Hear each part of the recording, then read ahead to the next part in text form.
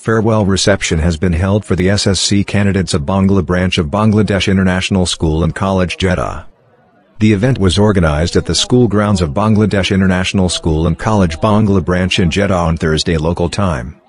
School chairman Ataur Rahman Mukul was present as the chief guest. Acting principal of the organization MD. Humayun Kabir presided over the reception.